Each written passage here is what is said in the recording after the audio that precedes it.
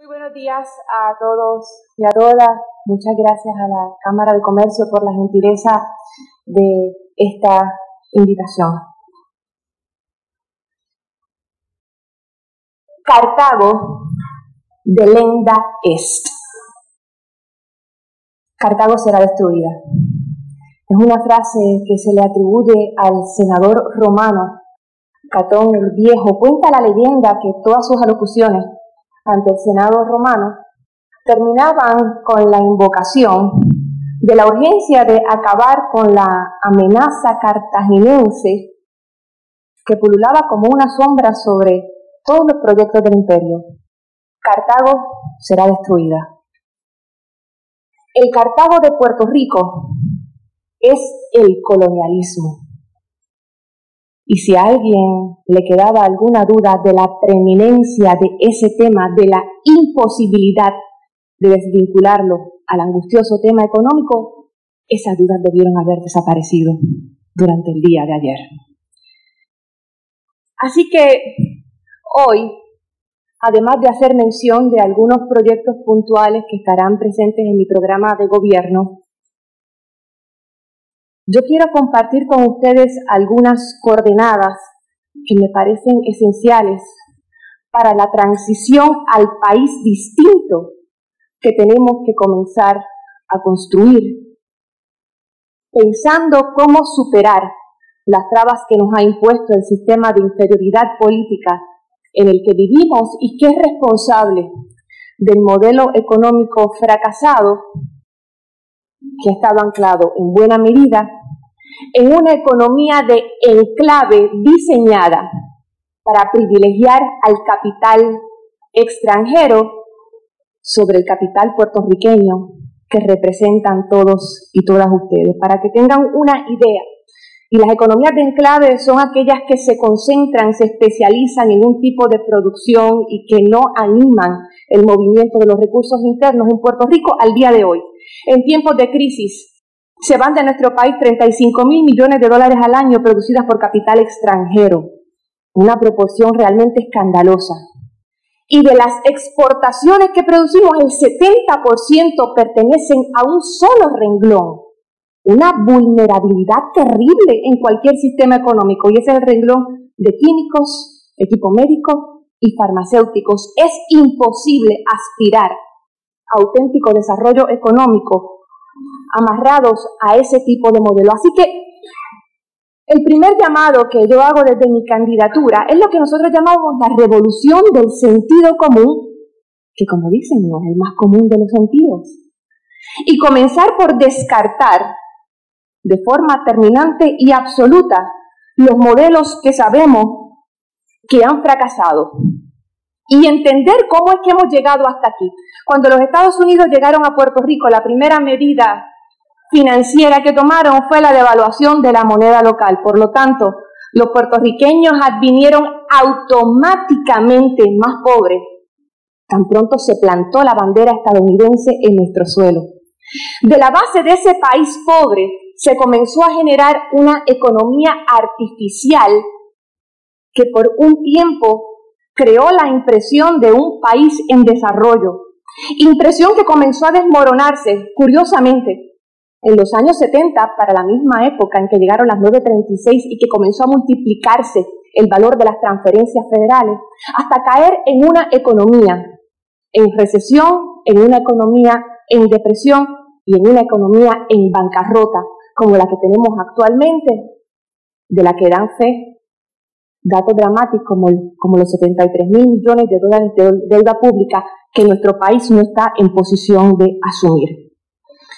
La respuesta a eso tiene que ser, por lo tanto, el diseñar estrategias económicas que nos permitan reinventar el país. Y quiero señalar algunas de las posiciones que para el Partido Independentista son indispensables en esta coyuntura, comenzando por el tema energético, que es probablemente el responsable de la mayor parte de los costos asociados a la producción en Puerto Rico. La Autoridad de Energía Eléctrica acaba de presentar un plan integrado de recursos que está basado fundamentalmente en todo lo que ha fracasado, en todo lo que ha fracasado.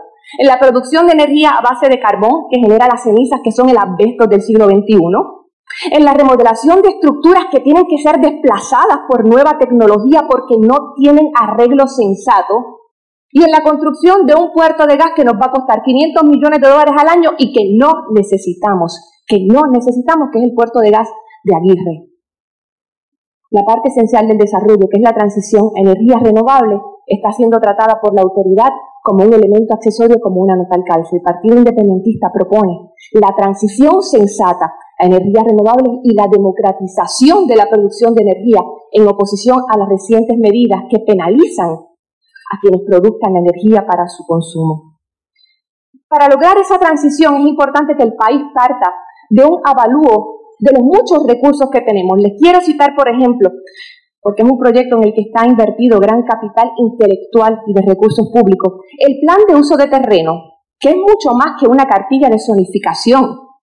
Es un mapa de cuáles son los requerimientos económicos de desarrollo de infraestructura sociales, demográficos de nuestro país y que debería servir de base para un plan de desarrollo económico consensuado porque no va a haber ningún proyecto, por bueno que se vea en papel, que nuestro país tenga posibilidad de progreso si no parte de unas bases de las que participen los distintos sectores económicos, políticos y cívicos. Uno de los proyectos que en nuestro programa va a tener especial preeminencia es el tema de la soberanía alimentaria. Puerto Rico solamente produce el 15% de los alimentos que consumimos. Esa es otra de las grandes vulnerabilidades de nuestro sistema. Y una de las fallas en las que se ha incurrido al trabajar el tema agrícola es otra falla persistente en todos los proyectos de producción, que es la falta de eslabonamiento entre una industria y otra, una de las características también de toda economía de enclave. En Puerto Rico, si queremos promover la agricultura, tenemos que desterrar esa otra forma de colonialismo, que es el colonialismo agrícola, que representan las compañías que utilizan nuestra tierra para producir semillas que no pueden generar nuevas cosechas y que utilizan además métodos de dudoso eh, valor científico en términos de salud y de producción para los países, como los alimentos genéticamente modificados.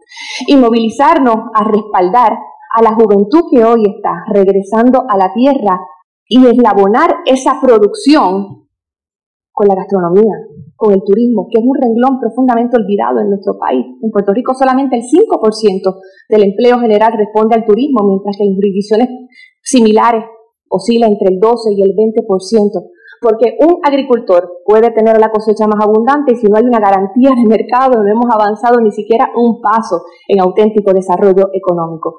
Ese mismo principio de eslabonamiento se puede aplicar para sustituir, por ejemplo, la producción de fármacos que actualmente dependen de capital extranjero. En Puerto Rico, el éxodo de algunas de esas industrias nos ha dejado con estructuras perfectamente habilitadas, con personal capacitado y con un gran hueco que podemos ocupar en el mercado mundial, donde el 70% de los medicamentos son genéricos o bioequivalentes. No producen las enormes ganancias que producen los medicamentos de marca, pero ciertamente son un renglón económico que en Puerto Rico va a requerir para desarrollarse inversión pública que en este momento no ha estado disponible para ese tipo de empresa. Y aquí quiero tocar lo que me parece un asunto esencial, sobre todo después de lo ocurrido en la tarde de ayer en el Congreso de los Estados Unidos, y alertar sobre lo que va a estar ocurriendo próximamente en nuestro país. La Junta de Control Fiscal, yo espero que aquí todo el mundo ya esté claro, no viene a interesar las finanzas de Puerto Rico ni a adjudicar responsabilidades a los que han actuado fraudulentamente en este país. La Junta de Control Fiscal es una agencia de cobro que va a comenzar por imponer medidas de austeridad que van a ser blanco en todos los proyectos importantes de infraestructura pública. Y esto les debería interesar particularmente a ustedes porque no hay un lugar en el planeta en que la industria privada haya podido florecer sin inversión pública. La inversión pública es la que garantiza el buen estado de la infraestructura vial. La inversión pública es la que garantiza sistemas eficientes de agua, de producción de energía, la infraestructura pública intangible, como una educación pública adecuada, como un sistema de salud pública que dé servicios dignos y eficientes, son elementos indispensables para el progreso del capital de nuestro país. Y en la medida en que la Junta venga con el proyecto perverso de administrar los recursos que nos pertenecen a nosotros los puertorriqueños, la riqueza que generamos nosotros los puertorriqueños y las puertorriqueñas, para buscar de dónde satisfacer los intereses de ciertos acreedores, esa es la condena de muerte al desarrollo económico de nuestro país. Yo sé que hay mucha gente en Puerto Rico, la inmensa mayoría de la gente en Puerto Rico, no comparte el ideal que yo represento, no comparte mis posturas políticas. Yo creo que en Puerto Rico debemos mandar los puertorriqueños. A alguna gente eso le parece una proposición peregrina. Yo no escucho a esa misma gente cuestionarse de por qué es que en Francia mandan los franceses. No escucho que nadie plantee que es un grave error. ¿Hasta dónde vamos a llegar si los chilenos están mandando en Chile? Nadie parece plantearse eso. Pero aceptan sumisamente la condena de inferioridad, que es el hecho de que aquí en Puerto Rico no mandemos los puertorriqueños, que manden los Estados Unidos. Y miren cómo funciona esa emboscada psicológica que es el colonialismo. Que esos mismos sectores que piensan que hay algo demasiado aventurado e ideal en la independencia, las aspiraciones que tienen en cuanto a desarrollo económico son las que promueve el Partido Independentista Puertorriqueño. ¿Quién aquí de ustedes cree que realmente es bueno que nosotros vivamos esclavizados por las leyes de cabotaje? ¿Qué argumento ustedes han escuchado a favor de que un país pobre tenga que subsidiar a una industria millonaria en un país inmensamente rico, encareciendo el costo de transportación que a su vez produce un aumento en el costo de bienes y de servicios? ¿Verdad que nadie defiende la ley de cabotaje? La ley de cabotaje existe porque existe el ELA. Existen porque existe el ELA.